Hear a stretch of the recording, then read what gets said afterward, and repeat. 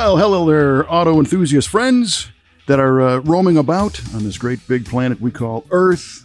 Yes, it's true. You push the button again. You haven't learned yet. You've hit play on yet another Another licit episode of V8 Radio, Kevin. licit. Licit, Right on. as in the I- I- opposite of illicit. I know. Which which would I rather be, licit or illicit? I don't know. What's going to give us the more uh, listens? I don't know. Licits. Listen, We could start calling them our, our right. licitors. cut. Start over. What? All right. Illicit means uh, like like illegal, like uh, Correct. verboten. Yeah, yeah. Illicit means not forbidden or lawful. All right. So this th- wait, this has to be a lawful episode. Yeah, we have to keep it above board today, man. All right. Well, this is the V8 Radio Podcast. I'm your host, Kevin Oeste, joined as always by our esteemed co host, Mr. Mike Q-Ball Clarke. How are we doing today, my man? We're doing good. We're doing Yeah. great. Yeah, yeah. You look it. You suck Doing- with your seventy degrees.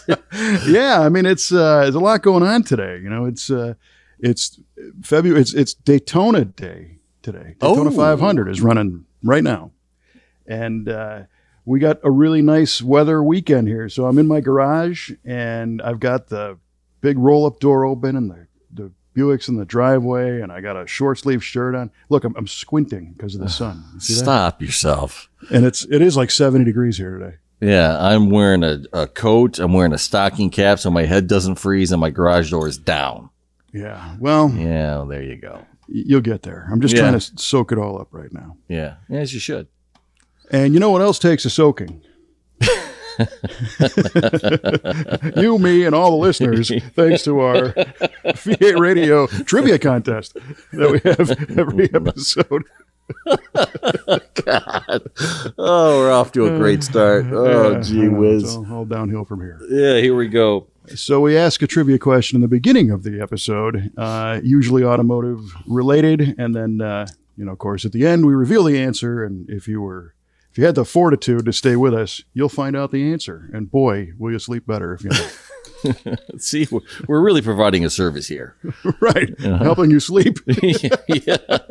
We are your sleep study. Please You're wait till- welcome. Please wait till after the show. Oh, my goodness. Do you have a trivia question? Uh, I do have a trivia question, but before we get into that, um, I have to offer up a concession uh, on, on one of our trivia questions. It seems that uh, on our show from December 18th, uh, 2021, I asked you a question regarding um, what aerodynamic technology was available on fifth gen Z28s and HD Silverado trucks. And you got you your answer was um, something like flush flush mounted glass, and of course that wasn't what I was looking for. However, I got the question wrong. So I made it So impossible. so I made it impossible to answer correctly. So I'm going to have to give you the the win in that column. I'm going to have to ask our official V8 radio statistician Yardley to open up the archives and go back to that 1218 show and mark a win in that column for for Kevin. Ah, And so the question, the, the correct question was what aerodynamic technology is shared between fifth gen Z28 Camaros and 2019 Silverado medium duty trucks. And I know if I asked it correct, if I, if I asked the question correctly, you would have gotten it immediately. But because of the way I asked it, I made it impossible. Therefore, defaulting you with the, with the win, my friend. well, there you go. And the correct answer to that was the the flow tie. The flow tie. Ex- See, you knew. Yeah, You yeah, right away. The, uh, the bow tie thing in the grill that helps Mm-hmm. do things that we can't really describe, but it was great. Yeah. Exactly. All right. Well, hey, I appreciate that. So congratulations, you're already a winner. That'll make up for the the three in a row from the yeah, right. the, the thing in Pennsylvania. Yeah, pretty much. All right, All right. so well, all right, go for it. so good stuff. All right, so the real question today is, uh, Kevin, you remember when? Um, remember those keys that GM came out with? They had little coated resistor on them for part of the security. Well, when did GM start using that? And for the bonus, what car did they initially use that on? Mm, that's called the pass key, right? I think that's what It that's could called. be, yeah, Yeah. sure. Absolutely. Yeah, yeah, yeah. Well, and, and, and it's identified. You see on the on the side of the key, it's got that looks like a little thing there. You can't quite put your finger on it. It's got a little black plastic surround. yeah, it's a little chip, Uh, a little yeah. resistor of some sort. Mhm. Well, uh, the story that I'm aware of, and I don't know if it's true, is that um, in the in the cities in the United States, Chicago, California, New York, I think Miami, Dallas, um, the Chevrolet Corvette in the 1970s and early 1980s was the most stolen vehicle in the country. Oh wow. And at one point, uh, there was a, st- a statistic in the city of Chicago that your new Corvette, under certain circumstances, if you left it, you know, parked on the street in certain Mhm. areas, it had a you had an ownership lifespan of 24 hours before the Good. got stolen. Gravy. yeah, Yikes. right. And you know, I think at that time that was the the end of the C3 generation, uh, which came out in '68, and those cars, you know, thieves figured out how to get into them. You know, by Mhm. then, and a, and a Corvette, you know, it's a it's a plastic thing, so it wasn't very hard to to jimmy one open and steal it. So I think they uh, created the passkey system primarily. It was launched in the Corvette to help reduce that theft rate. hmm Uh, and my my recollection is it came out on the '84 Corvette, the Gen uh, Gen 4 Corvette, C4 Corvettes, and it was part of the technology package that they were heralding, trying to convince people to buy them because you know if you bought one and, and it got stolen that day, you know that wasn't good for sales and it wasn't good for insurance premiums Right.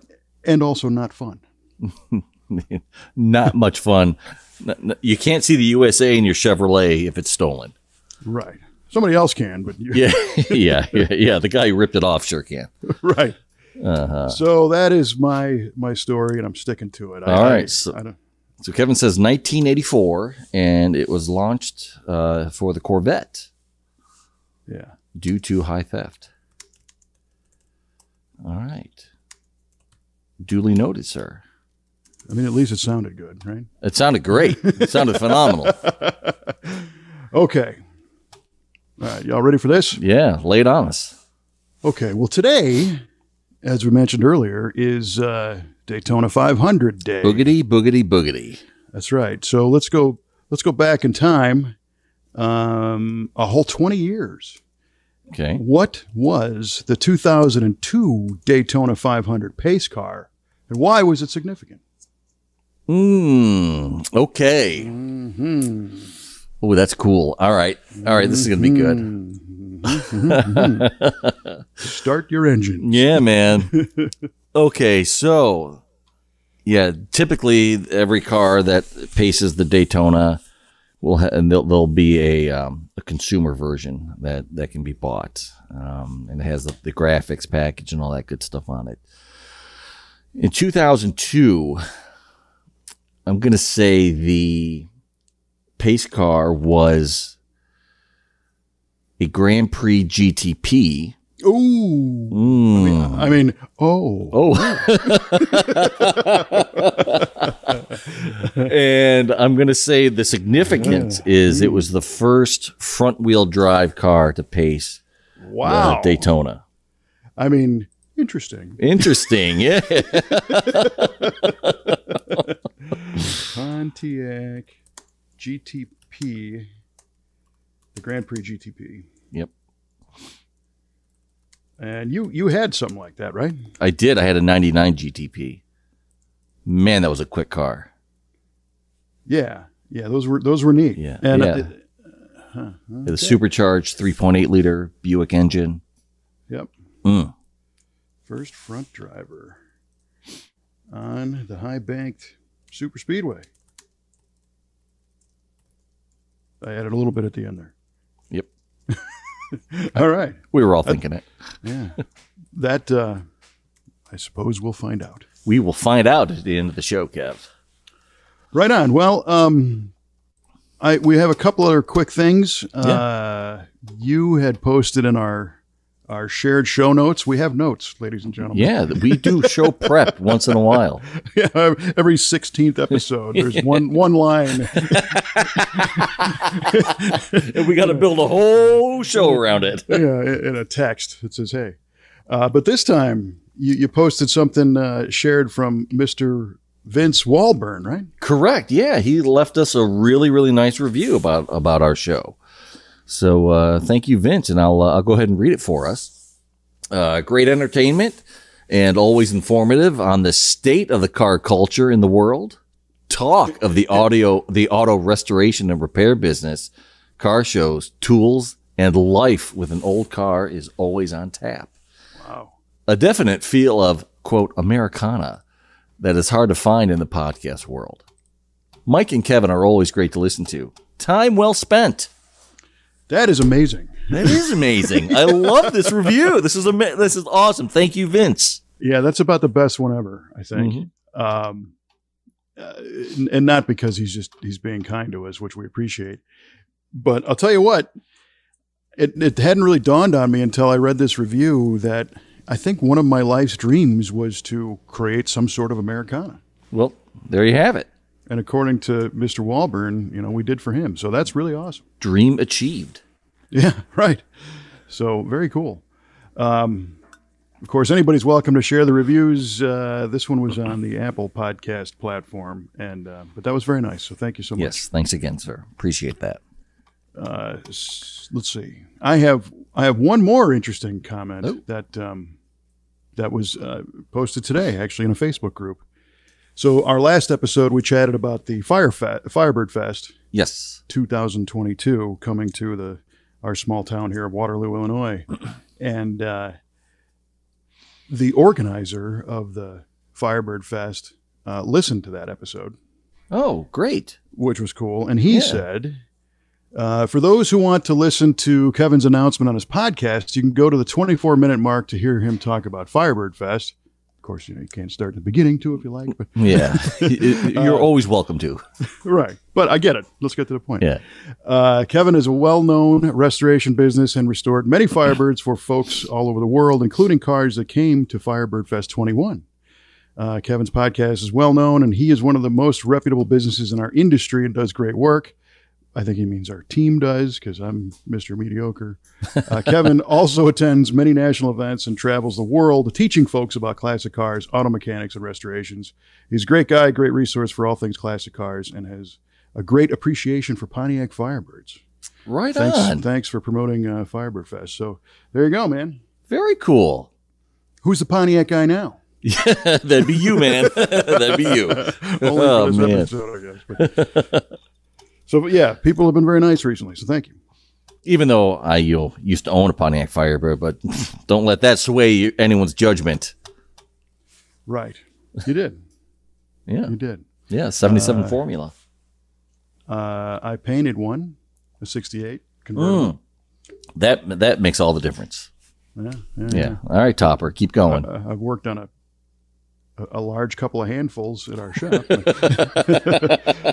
and I've walked past our crew working on many more. yeah, right.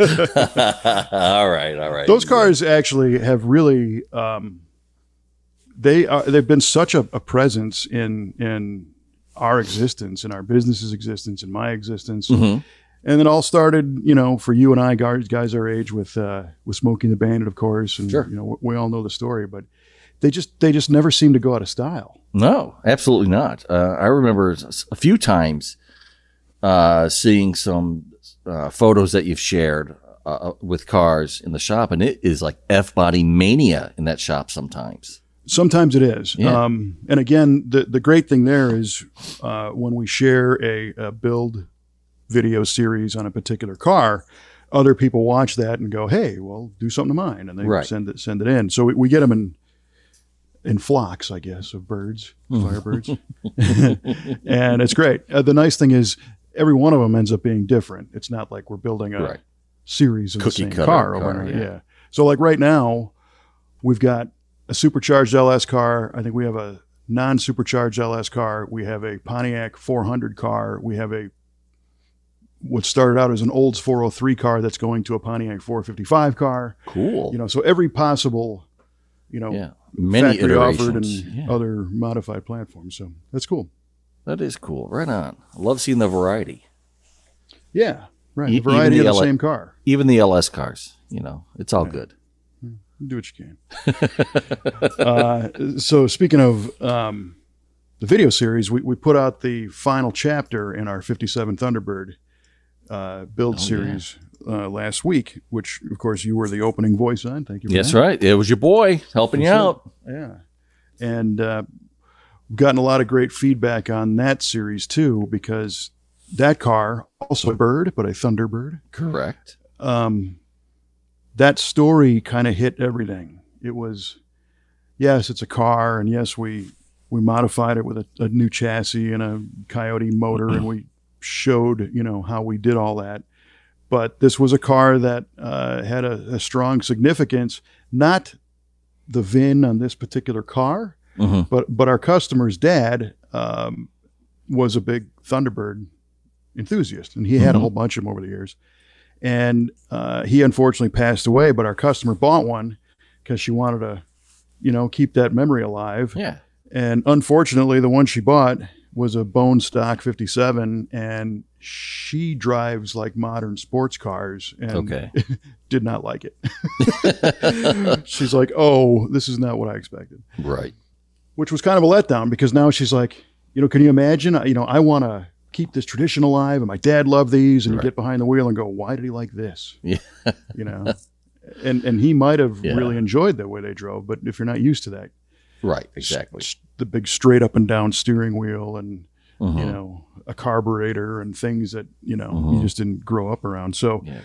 by breathing new life into that car, it now allowed her to go out and use it and stay connected with her dad. And hmm she's driving the wheels off that thing. That's fantastic. It is. It's super cool. Yeah, that's what we all hope for when when these things come out of any shop or, or any any type of build is completed that you're you're able to drive the wheels off of it.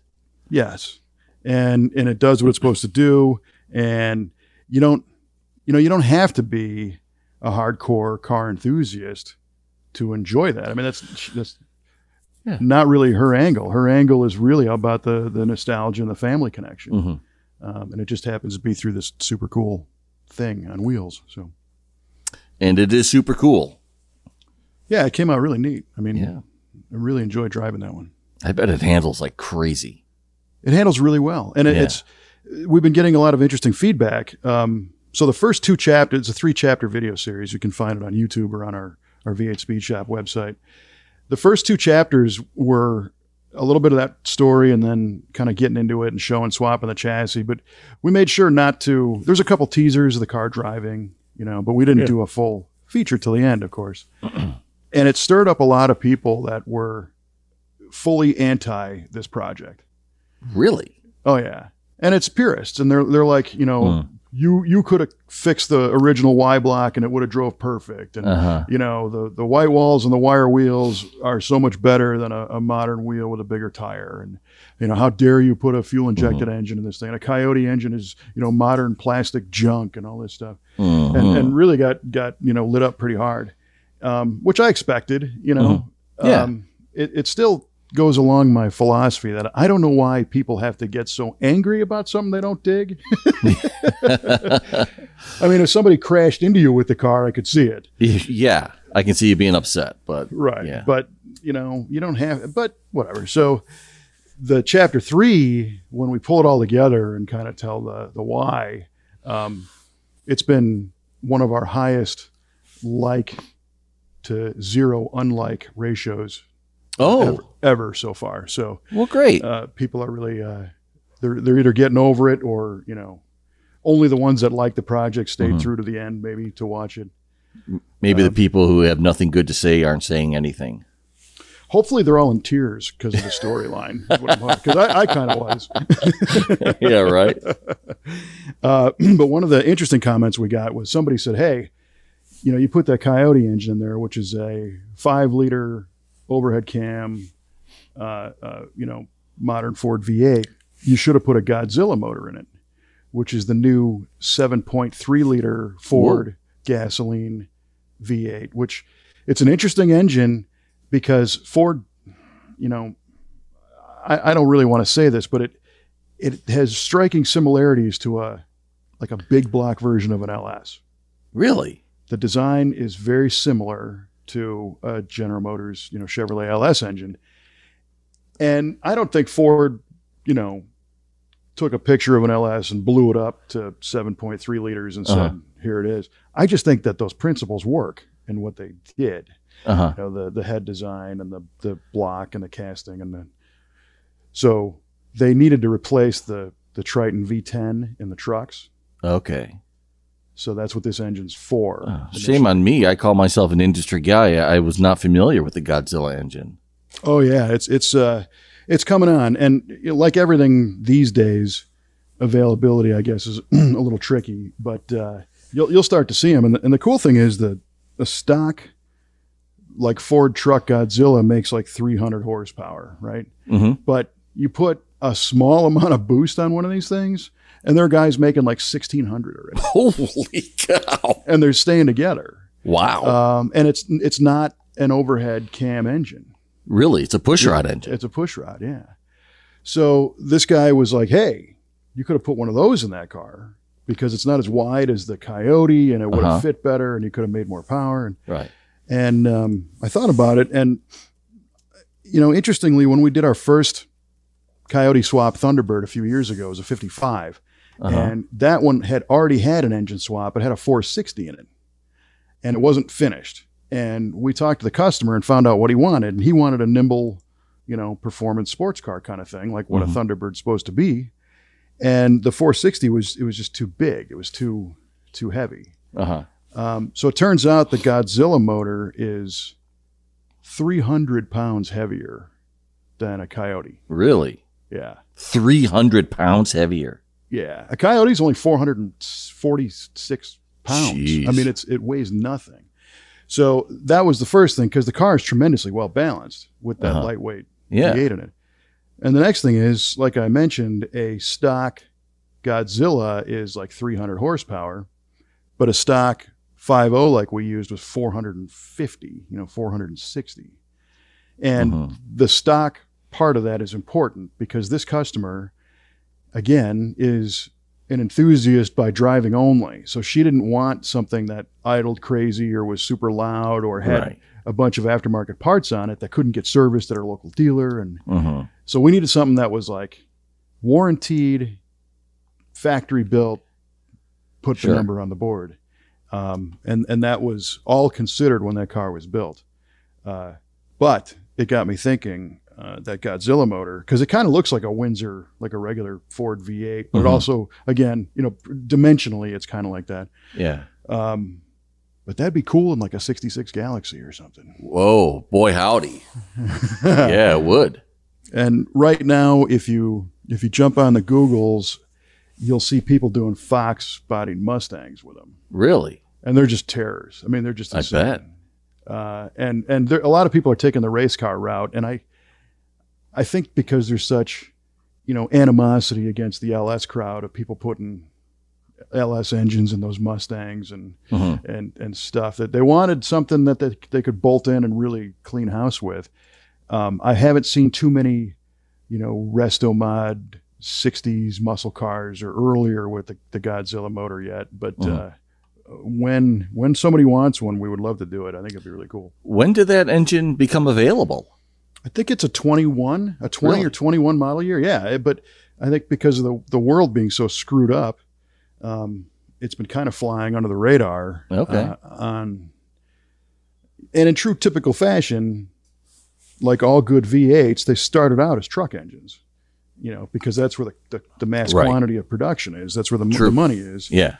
And then the high performance versions weed out. And if this was if this was Chevrolet, it would have been in a Corvette and then all the trucks and then all the cars. Right. But Ford already has the Coyote and the Mustang. So they didn't True. they're not building a Godzilla Mustang from Yeah, they don't need to. from yeah. right. So it's a kind of a different rollout.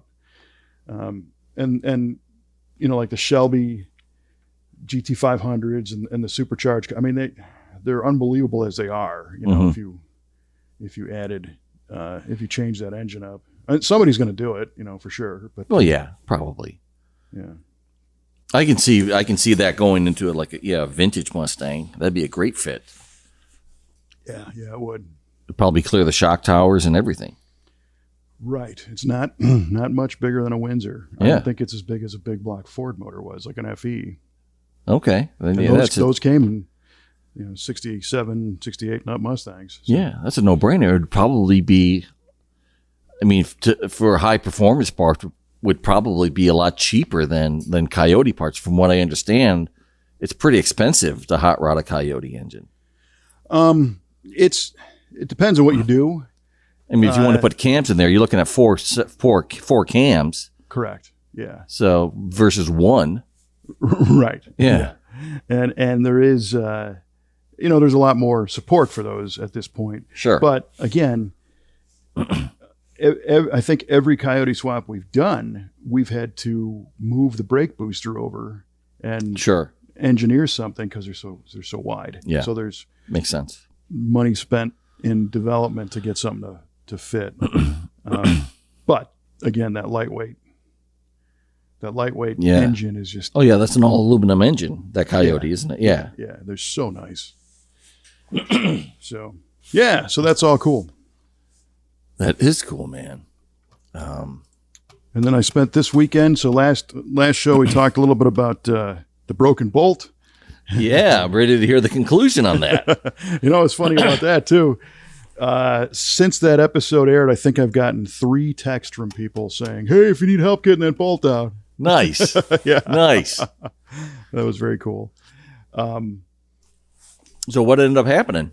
uh, it, as soon as we got done recording our episode, I went right back to work on it, and I rechucked up my uh, uh, reverse pitch left hand thread drill bit, um, not the special machine tool, just a backwards threaded drill bit, Mhm. and and kind of jammed it in there, and it grabbed that end of the bolt, and it just spun right out. Nice. So it was halfway hung up, like I was talking about, around the Yeah. gasket material and in the, the stuff in there. But I think a little bit of it was still in the block, Mm. and, and it just went zip, and it fell right on the floor. And I was like, "Here we Oh. are." Here we go.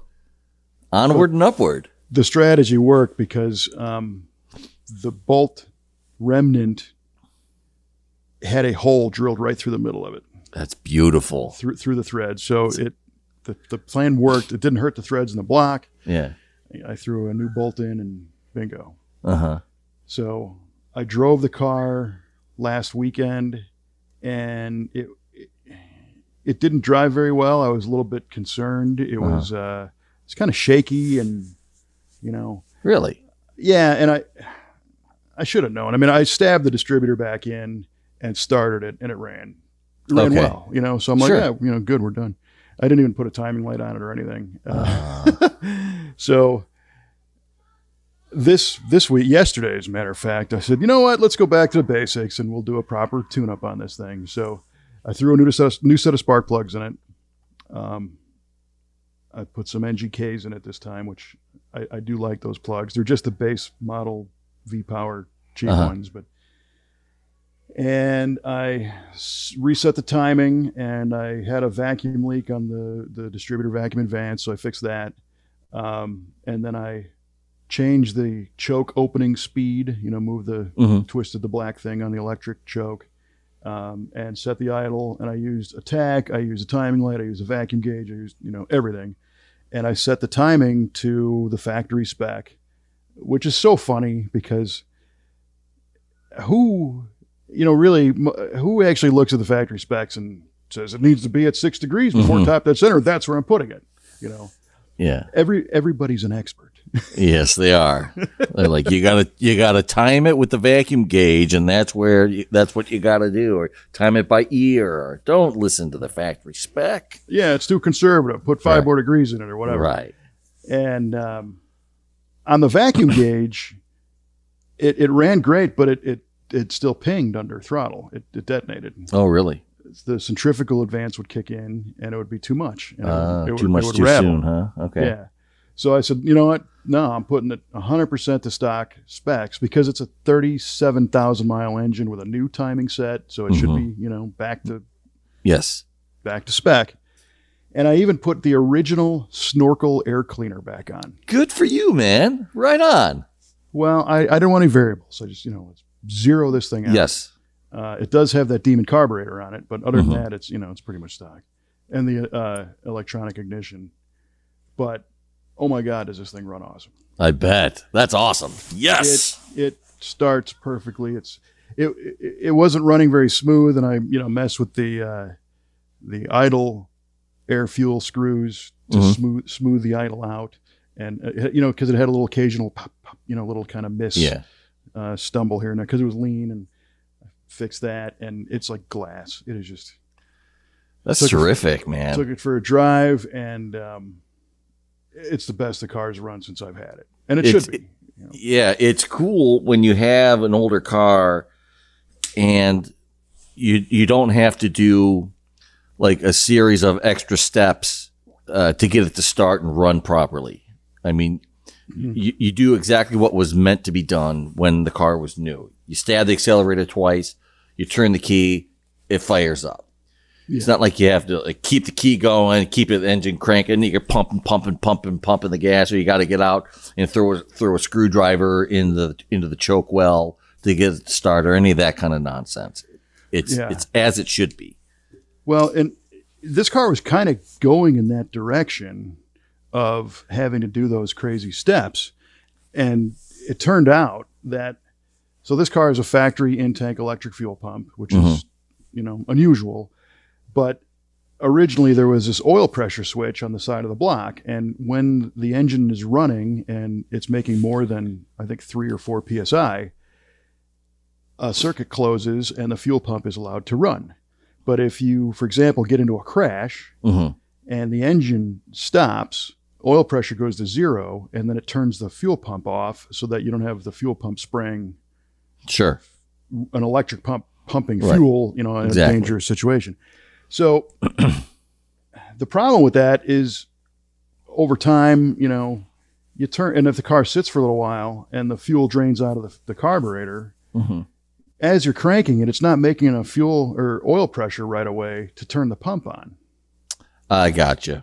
And then when it does, it's got to pump from all the way in the back to all the way up in the front, fill the Mhm. bowl. And if you did your two step throttle already, there was nothing in the carburetor yet. Right. So not only that, when I put the electric choke on it, the choke is timed. So the amount of time it took to get the oil pressure up, get the fuel brought from the back to the front, get the fuel in the bowl, and then spray it into the thing, the choke was already opening Oh, because it's electric. because it's electric. And Yeah. it's a certain amount of time before it, it opens up on its Mhm. own. So then it wouldn't start properly and it would, it would be real rough and blowing smoke and everything. Yeah. So I backtracked through all this to figure out what was going on. And it turned out that the uh, spark plugs I took out were all gapped at like 45 thou, Okay. which I think was done. I think the gap opens up a little bit over time on this It, thing. it seems a little a bit much. Yeah, but we did the Pertronix electronic ignition conversion. Okay, so you got a hotter spark. Hotter spark, right? Yeah. So a 45 thou gap is like GM HEI territory. Yeah. you know, like, and I went back to the Pertronix instructions and it doesn't say anything about gap. Hmm. So I think at the time, and this is, I don't know, five years ago now, I thought, yeah, it's an electronic ignition with a, a new performance coil. Let's open that gap up a little bit because it's going to be a better flame Right. front and all that. Uh, no, it turns out that Pertronix says, yeah, if you want to open it up, open it up 500 thousandths oh boy. just a super tiny bit, which basically Yeah. means don't don't do anything. Right. So the stock spec on this is a thirty thousandths plug gap. oh, bo- oh boy. So you had uh, it was open quite a bit more. It was open Fifteen thousandths extra. One hundred and fifty percent more than it should. Yeah. You know. Yeah. Oh boy. So I put the I gapped a new set of NG, NGK plugs, put those in, and then I slowed the the choke down so that all that stuff could happen and the choke would still be Okay. closed. And then I jumped out the uh, oil pressure switch and put a an electric jumper wire so that as soon as you turn the key on, the pump is running. The pump is going to come on. Oh, that's great. and it's you know again anti-safety feature but uh, like in my Galaxie and the fuel injection cars we do at the shop we put a uh, it's actually a ford part an inertia switch that we put in the trunk Sure. Yeah. it, it actually has a big ball bearing in it like a like a buckshot ball Oh, yeah? and it sits on a contactor and if the car gets hit it knocks that ball off and it turns off the fuel pump that's the Ah, that's the circuit okay. um, so i'm going to put one of those in the car so it'll still have the Have the, safety fe- the safety feature. Okay. but it won't depend on the engine oil pressure. It'll depend on an impact. Sure. That's Yeah. great. So, because you have that electric pump, you just have to turn the key. Say you haven't started the car in a month and the and your Yep. float bowls are empty. You just have to turn the key and it's going to fill those flow bowls for you. Right. And so I thought that'd be great. But Yeah. again, at the same time, the choke was already coming off. Because even if you just turn the Right. key on it, if it's dry, it's going to take 10, 15, 20 seconds, Sure. you know, to get enough fuel in there. And then, you know, you pump it and whatever. Mhm. Uh, so I slowed the choke down. And now that's the concept. If it sits for a while, you just turn the key, let it sit for, you know, 10, 15 seconds, then slowly squeeze the gas pedal a couple times. It'll set that choke valve Set in your choke, place. Yeah. Uh, and then it, it, it starts inst- I mean, it's like half a rotation. Doesn't that feel good? just boom. Yeah. Yeah. It's great. Mm, I love it. Love it. Yeah. And it doesn't leak. So the whole point of that whole project was to fix the front crank seal, Front crank seal. uh, which is fixed, doesn't leak. Oh, That's good. Okay, good. Well, that's a good byproduct of all this work you did. Yeah, the actual original goal was achieved nice. for now, anyway. Uh, and that's the you know the enemy of these cars is is a lack of usage, and that's when Yeah. things dry up and they they start to leak. So it, it might leak again, but right now it does not. Um, and then the interesting little side byproduct was that putting that stock air cleaner back on. So I had a an open element, you know, Mhm. filter, and, and that had two problems. One we talked about before. It was so flimsy that you tighten the wing nut and it would bind up on the throttle linkage. Right, right. And it, it wouldn't idle down because it would hang up on that. Mhm. So I figured that out. And when I put the stock one back on, of course, it clears everything. Uh, but it's it's so quiet, you know, because it's an enclosed thing. Yeah. And the hot rodders are saying, well, you just choked out, you know, 15 horsepower or whatever because it's breathing through a snorkel now. It's a luxury car, my friend. well, yeah, exactly. There, there, there's that. Um, and if I really want to, I might punch a few holes in the bottom of it or something and Okay. give it a little breathing room. But I, and maybe it's it's probably because of the the new timing chain and the the tune up I put on it. Mhm. It performs better now than it ever has. Well, that's great. So I, I'm not perfect. missing my airflow benefit. hmm Um, and we did do a air fuel gauge tune on it last year and set the metering rods and everything. Mhm. So I got to check that to see if I'm by restricting the airflow if it's running perhaps a little Oh, rich. little rich, perhaps. Yeah, I got you. Um, but we'll find out. It doesn't feel like it. I mean, it, it just feels great. Mm. Well, you can you can throw uh, an air fuel. Um, you probably throw something in the tailpipe, couldn't you? That's going to measure air fuel.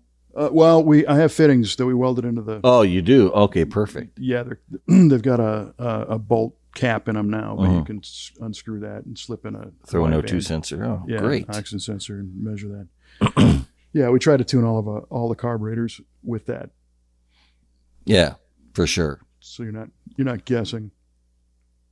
Yeah, that's you don't want to guess with that, especially if it's something you're going to put a wide open throttle. You definitely don't Yeah. want it leaning out. Yeah, right. yeah. Yeah, oh sure. boy.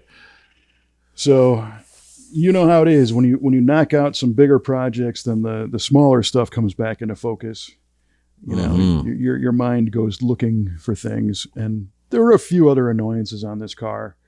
Uh, sun visors would slowly droop I, f- I know that that as- struggle. as, you drive, and and so would the rearview mirror. It would slowly droop. Uh-huh. Um, so I went through and cinched all those down, and um, so far they're they're dynamite. I I don't know. I th- I remember tightening those in the past. I don't know if I was just being conservative on it or if they did it truly loosen up. Mhm. But right now they're like they're stuck. They're they're Good. not going anywhere. So that that's good. I'm Nice. sure the, the first time I grab it and flip it down to block the sun, it's gonna, the screws going to come loose, and that's gonna it. fall out. Yeah. and then there was Nice. another little side project that that had me stumped for a while. The car would go dead every once in a while in the garage. The battery would just go to nothing. Oh, I think I remember you talking about that before. Yeah, and I was blaming, you know, cheap batteries and Mhm. all this stuff. And what I found out is it was the glove box light. Ah, this car has a light, and a it's a luxury car It is a luxury car. with uh, an illumination source in the glove box. And Mhm. over time, the latch had worn. Oh, It loosened. It didn't wear. It loosened. okay. So the the it's a pin switch, a push button Yeah. switch on the bulb, and the strength of that spring was enough to push the door away enough to turn the light on. Ah, It appeared closed. sure. Yeah. Um, so okay, sure, we'll tighten up that latch. Well, that's like nearly impossible. Is it? Oh, gee whiz. And to describe the mechanism, so you look at this car, the front of the dash has wood grain trim, Mhm. and in that trim is where the twist knob is for the glove box. The door is below that. So the like I Oh, think on oh, your okay. car, on your car and most, you know, Camaros and GMs and a lot of, you know, Yeah. Mustangs, the latch is in the door itself. Correct. It's a little push button. It pops the door Yeah. open. Yeah. In this case, it's not. The latch is above in the dash. Oh, this- so trim. fancy. Yeah, right. so what ends up happening is you've got your twist knob and then the trim and then there's a like a, a lock nut behind the trim but in front of the dash steel. So it's captured behind Oh, the trim. And then the the latch mechanism is threaded inside from the back. So in order to fix this it, and the whole thing loosened up. So we're just kind of wobbling and spinning in the in the dash. Okay. to fix this, you got to take the tumbler out. You got to take the knob out Oh boy. and, and the key slot, and then go inside and remove the latch assembly, and then figure out how to put it back together and tighten it up. And Yikes. there, of course, there's a trick, and Kelly was, you know, Kelly knows the trick on all this stuff, and she was looking at it, and um, at first I just wanted to get the thing to close again because it was, it was so loose it was hanging open. Right. And on most of these locks, you you have a, a pinhole on the side. You put a Right. put a paper clip or something in Uh-huh. there, and it it pushes all the little tumbler fingers down so that they can slide out of the hole. Correct. Uh, and this has that same kind of thing. But you got to also work the latch itself, the little spring-loaded grab Mhm. latch. Oh, sure. So I'm, I'm under the dash. I find the hole. I push the thing. I grab the little latch, and uh, bing! The, the the knob actually ejected out of the car. It sh- it lands on the floor, and the latch popped upward and landed on top of the inside of the glove box. Oh, the whole gee thing whiz. it just disassembled itself. Oh my gosh. Uh, and then I could see that little little nut inside the the dash. So I brought the whole thing over to the bench, and I'm assembling and disassembling it on the bench. You know, to get the feel of how this thing works, and yeah. lubed it up, and you know, made it all nice. Put it back in the car, and realized that to tighten the lock nut, you need a very large hex key. Essentially, it's like an Allen wrench Okay. because you it, there is no way it's an inside surface it's like a, an allen you know it's Mhm. like a cap screw i guess Yeah. um, and you can't get any other kind of tool on it except for that uh, so i went oh man that's a weird one but of Mm. course i got up and went in my toolbox and there it is Hey, how about it? uh, yeah i got a couple of nice sets and clicked it back together and torqued it down a little drop of red loctite and blammo the glove box works perfectly again so Heck yeah, man. I know. And it's sunny and warm. It's just been a good day. These little projects really are satisfying. They are. Yeah. And even when you got to go back to the book and put aside, you know, what you think you know, hmm Yeah, I get that. I know how to do this. Yeah. let me let me show you how to do that. You know? Yeah, I'm I'm usually like that, but but with with this car, I actually enjoy going to the book because I like seeing, learning how the, the factory put things together. Mhm. And just you can see the exploded view, like, oh, they did this and they did that. Okay, that's cool. I can just, you know, grip this and turn that. And Bob's your uncle. I have this apart now. Right. And just learning how they how they engineer things is what really is what really kind of gets me going. Yeah, and, and Trevor in our, our shop has a, a quote he uses every once in a while. You know, GM had buildings full of engineers Mhm. that figured this stuff out along with the service procedure. And when we're building a car like that Thunderbird, taking all these parts and putting them together, you know, we're just, you know, 20 technicians on a Tuesday. You know, we're not Right. GM yeah. or Ford or Chrysler with their resources. yeah. So, you know, as much as you know, it could be a male trait to not want to look at the instructions and figure it out on your own. If you got them, you know, you're going to be a lot happier. Mhm. So, Absolutely. read read the book. Uh, and those are little victories, like you're saying, and little victories are good because that's the gratification of this hobby, if you will. Is you know, whatever happens to me tomorrow work, I'm not gonna. I, I won this weekend. Yeah, man. I'm a wiener. That's right. So it should be uh, it should be all good. So the goal is to take this car on a little road trip up to uh, Chicago in April. Oh yeah. oh, good. We'll see uh, you and some friends up there, and that's that ends up being about a thousand mile trip over the whole weekend. And um, one of my wheels uh, is bent. Mm. This car had stamped steelies and hubcaps Mhm. originally, and I put a set of Buick road wheel, you know, the chrome rally wheel type Yeah. things on it. And one of them, the the last time I had the tires balanced, the the it has a little shake to it, and the the technician's like, "Yeah, you got a bent bent bent wheel," and the tire shop's not going to address that. Um, Hmm. but since then, we now have our own tire mounting machine, our own balancing. We do all that in house. Right. So I'm going to identify which one is the culprit, and there might be more than one, Mm-hmm. and uh, dismount the, those tires and um, going to attempt to straighten the wheels Cool. with a Okay. hydraulic, like a porta power and a, a fixture. And All right. I've, seen this done before. uh, I saw it on YouTube. So I, I'm a YouTube certified mechanic, sir. I'm a wheelwright on YouTube. uh, so, but I've been to uh, uh, wheel repair places and, and Uh-huh. watched them straighten the rims. And it's just all a matter of fixturing it up, and then you make kind of a, a shoe, if you will, that, that is curved, like a brake shoe looking thing, Mhm. And you, you got to push in the right spot and push out. Hopefully, it's bent outward. You know, most Yeah. are bent. They're bent inward. I mean, you know, when you hit something Right. and then you spin it and you keep doing that until it's gone.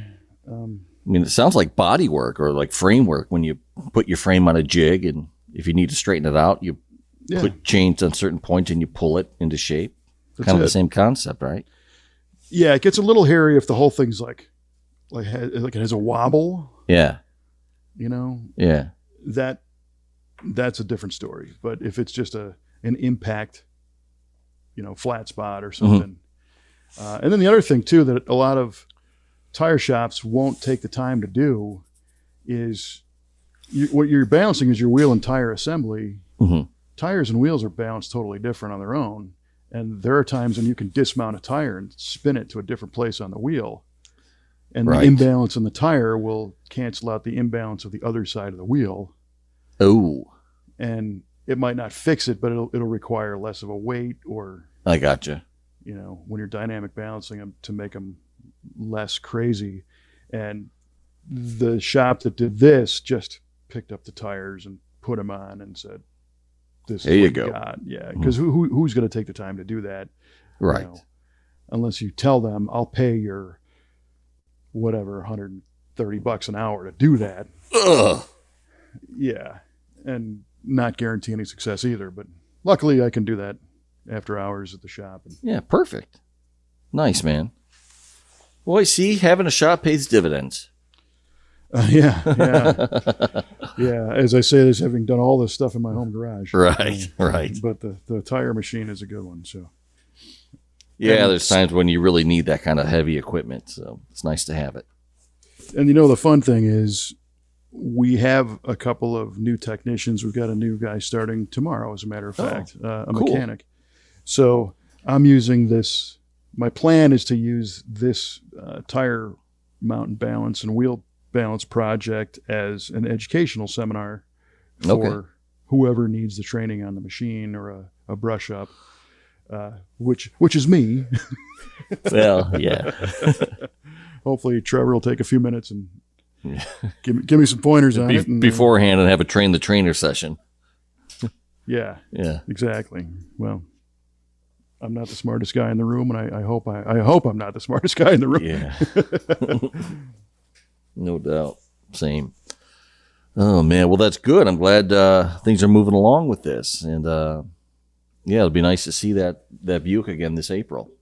Yeah, it will be. Hopefully, everything c- continues to go smoothly, and uh, you know the the shop has. It's funny because I'm tinkering with this stuff, and we've got all these, you know, big projects going on at the shop, Mhm. uh, which is awesome too. And it's neat to see the contrast, you know, between me talking about a, setting a plug gap and, and in the shop we're putting chassis on cars and yeah. you know total driveline swaps and hmm we're just wrapping up uh, this 69 or 72 Corvette Roadster LS3 six speed wheel brake suspension upgrade for a customer in Belgium. Oh wow, cool. Yeah, and he's actually coming to the states to drive it uh, next month. Oh, nice. is Is gonna, gonna be cool. Yeah, it going to be done? yeah. We dynoed it the other day. Oh, good. Uh, chassis dynoed it, and it made. Uh, I think it put four, right about 440 to the wheels. Ooh, nice. Yeah. That'll be a, a nice hauler. Oh yeah, yeah. It drives wonderfully.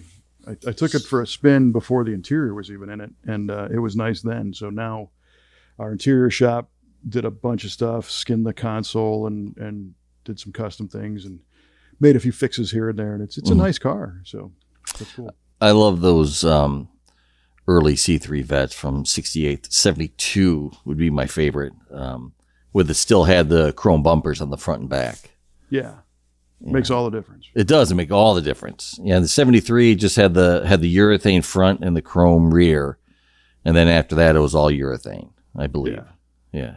Yeah. And a couple different styles of that. And then the rear, you know, hatch looking window eventually by 78, right? Right. Yes. The big, the Something like glass. that. Yeah. Um, although I recently saw one of those that I was never a big fan of like the 78, 9, 80 The disco vets. yeah, right. sorta, but there was yeah. a pace car and, you know, Yeah. a couple things like that. But somebody did one where the entire greenhouse, you know, the from the windshield A pillar all the way to that back glass was completely blacked out. Ooh. So the rear was tinted, the side glass was tinted, the top was painted, Mhm. and then the rest was red, everything down, and it was lowered on a on a set of Forgelines, and it just it was like a very pure form of that shape, Yeah. and it had the you know the in the urethane or the enduro or plastic whatever the, the bumpers were, and they worked on that car. It contributed to that. Oh, that cool. design, instead Okay. of looking like you know playing the federal rule of crash bumpers like they really were. But uh, that looked great, and I thought, you know, if more people saw that, those cars, those late '70s, early '80s ones, would become a lot more popular. Yeah. Well, they probably will just through attrition of other cars, but but still, yeah, it sounds like they can you can really do some good stuff with them. Well, you could go buy a '68 Mhm. and then buy a '78 for a tenth of the price. Yeah. Yes. And for all intents and purposes, it's the same car. Yeah. yeah, it kind of is. But, uh, But yeah, that's not. amazing uh, how that how the how that shakes out. yeah. Yeah. I mean, the interior is different, and of course the driveline and whatever. But if you want, you know, an, a, a cheap, fun LS swap project, I mean, that's that's a good way to do it. You could make a Bon- uh, Bonneville car out of it. Yeah, we had talked about that before, but that one's gone. We sold it. Okay. All right. Yeah, yeah, All right. No no use beating a dead horse then. right. There's other dead horses to beat. nice. Yeah. Oh man. So you uh, you got a hat and a coat on. You're still what'd you say Yeah. low 40s up there? Yeah, low forties. So GTO's not coming out today or tomorrow. No, sir, it is not. It is not. I still, I still need to get that over to Randy, so we still got to pull the engine back out. But he's been he's been really busy with other projects. Right, right. So uh, One more interesting thing that I did this weekend that um, I'll share. Our, our buddy Grady uh, owns an ozone machine, yeah, okay, right? Little Yeah. box that deodorizes houses and stuff. Uh-huh. And I ran that in the car for about 10 minutes. in the In Riviera. the, in the Riv, yeah. Huh. Rolled up all the windows and and and don't get me wrong, I love old car smell. Yeah. But this one, there was some animal remnant excrement Oh, really? smells here and there, you know, and especially kind of in the heater box. I got to take all that stuff out and and you know scrub it. But uh, uh, I ran the ozone machine for like ten minutes and then and then rolled the windows down and opened the doors because the ozone smell it's almost like chlorine. I mean, it's, Yeah. like a, it's like a heavy duty bad smell. Wind blows through it and gone. There is not a smell in the car. Oh, really? It's incredible. Huh. Interesting. So those who, you know, you get to the point where the car's, you know, doing well and somebody gets in it, you know, if your significant other gets in the car and says, you know, or the kids, you know, what's that smell? that an ozone shot will fix that. And I don't know for how long, but definitely for a while, I guess. Yeah. well, I think it. I mean, theoretically, it could do it forever because ozone kills the bacteria that, that makes your smells. Yeah. So, so as long as nothing new is introduced, it should stay smelling nice. Yeah, yeah. And I know a lot of local uh, uh, repair shops do that service. Mhm. And it, it came out of the COVID thing. You know, people were Oh, right. were trying to find services to sterilize cars for customers, Mhm. and everybody was hot and heavy to go out and buy an ozone machine. Yeah. And then that kind of died out. But you know, it, I, I recommend that if you got something that you've scrubbed or whatever and it, it ain't working, see if one of your local repair shops has one of those machines and uh, have them go to town on it. It, Cool. it, works. Yeah, I think some detail shops use that to get like musty smells out. Yeah, Things like that too. for yeah. sure. Yeah, it works. Yeah. Good stuff. Good yeah, stuff. all kinds of little tips this time. Nice. It's a nice tip episode of V8 Radio. It's like a show about cars. How about that? That's crazy. You're crazy. yeah, we turned the corner here.